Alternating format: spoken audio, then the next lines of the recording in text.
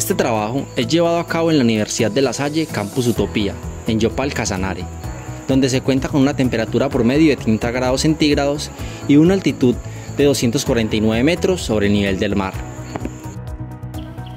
La piña, Ananas comosus, es una planta originaria del sureste de Brasil y Paraguay, conocida también por su gran importancia económica y donde los países productores son Brasil, Costa Rica, Tailandia y Filipinas, alcanzando producciones de 67 mil toneladas al año. En Colombia, este cultivo también se considera importante, debido a que alcanza producciones de 551 mil toneladas al año. Las plantas de, piña presentan una reproducción vegetativa lenta, lo cual ha generado la implementación de nuevos métodos de propagación, como lo es el cultivo in vitro, que permite mejorar la propagación de esta especie a través de yemas axilares que nos permiten obtener plantas con características agronómicas deseables, acelerando la producción también de estas, de estas plantas de una manera más sana para una posterior siembra en campo. Por lo tanto, el objetivo de este trabajo es describir el proceso de micropropagación de yemas axilares en el cultivo de piña, variedad MD2, en la Universidad de La Salle, Campus Utopía. El material vegetal utilizado para la propagación in vitro son plantas de piña MD2 ubicadas aquí en el vivero del Campus Utopía de la Universidad de La Salle. El criterio de selección se basa principalmente en la identificación de plantas sanas, como en las características agronómicas, como producción y vigorosidad. Posterior a esto, se realiza un corte en la zona aérea y radical, para obtener un colmo de 25 centímetros aproximadamente.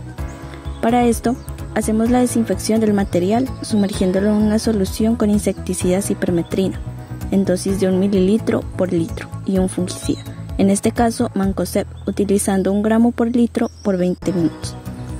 Al finalizar este proceso, dejamos en reposo por 72 horas para disminuir el contenido de humedad.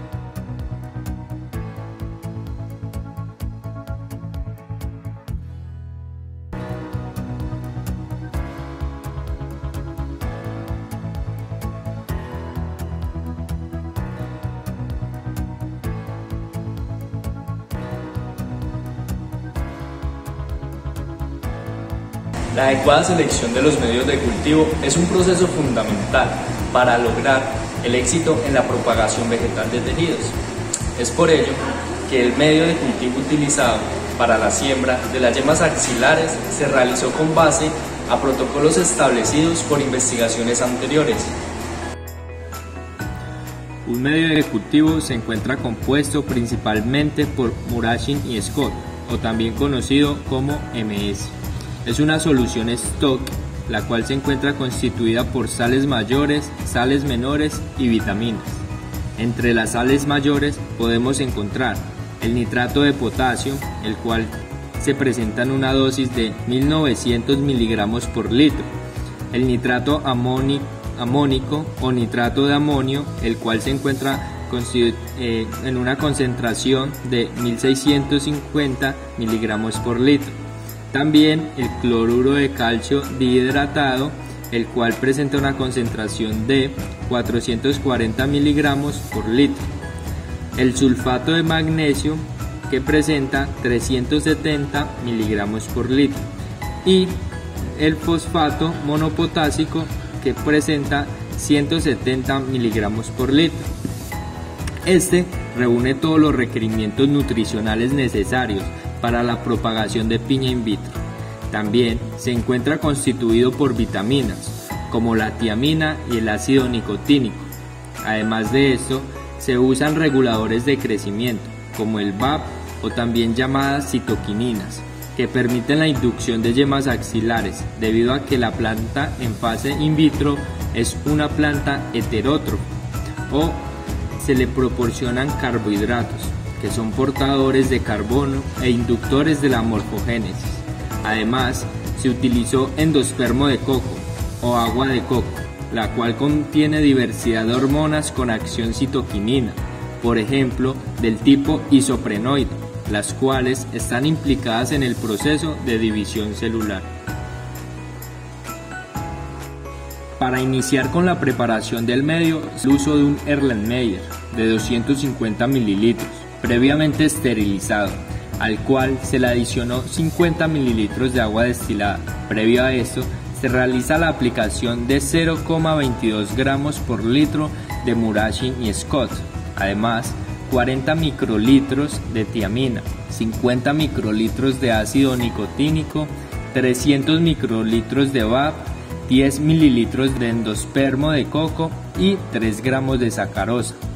Se realiza el aforo con agua destilada a 100 mililitros por medio de una probeta. Seguido a esto, se mide el pH del medio a partir de un pHímetro. Cabe resaltar que el pH del medio debe oscilar entre los 5,8 más o menos 1. Es necesario ajustar el pH de la solución con el fin de lograr una correcta gelificación del medio y considerando el pH también incide en la capacidad de absorción de sales minerales y es ajustado con ácido clorhídrico y hidróxido de sodio. Al finalizar el ajuste del pH, se procede a verter el agente gelificante, en este caso agar, que permite obtener un medio solidificado para realizar la propagación del explante. Luego de ser agregado, se lleva a hervir hasta alcanzar su punto de ebullición. Luego de esto, es llevado al autoclave para ser esterilizado. Después de la preparación del medio, se procede a esterilizar el autoclave durante 15 minutos a una temperatura de 121 grados Celsius.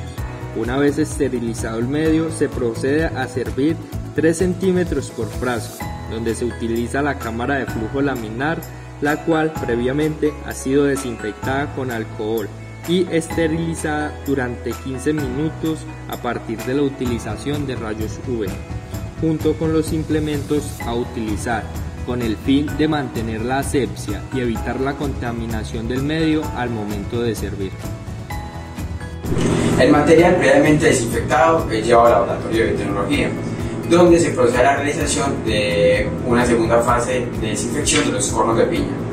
La siembra debe llevarse a cabo dentro de la cámara de flujo laminar, teniendo en cuenta la posición de la yema axilar dentro del medio.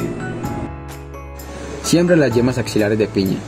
Para iniciar, se debe lavar el material con agua y tun 80 para eliminar tensión superficial y agitarse por 10 minutos. Luego se enjuaga el material con agua destilada por 3 veces. Seguido a esto, se sumerge el material en un fungicida de amplio espectro, a una relación de 2 milímetros por litro de agua, durante 10 minutos, en una agitación constante. Por último, se enjuaga con agua destilada por 2 veces se realiza la extracción de yemas eh, que se utilizan en la siembra, las cuales deben tener medidas de aproximadamente un centímetro cuadrado. A continuación, se preparan los equipos, instrumentos y materiales que se requieren para la siembra del material. Desinfección, esterilización de la cámara de flujo laminar. Las yemas extraídas se desinfectan con una solución de hipoclorito al 1% por un periodo de 20 minutos. Posteriormente se realiza el enjuague con agua destilada por tres veces. Luego se toman las yemas y se eliminan las partes que se pudieron oxidar en el proceso anterior. Posteriormente se desinfecta en una solución de hipoclorito de 0,5% por 5 minutos. La concentración y el tiempo se disminuye para evitar causar daños a los meristemos. Se continúan con el lavado por tres veces con agua destilada para el inicio a la siembra. La siembra debe llevarse a cabo dentro de la cámara de flujo laminar teniendo en cuenta la posición de la yema axilar dentro del medio. Una vez los implantes son sembrados en los medios de cultivo, estos son llevados al cuarto de crecimiento, donde se les proporciona las condiciones apropiadas para el crecimiento y desarrollo de estos.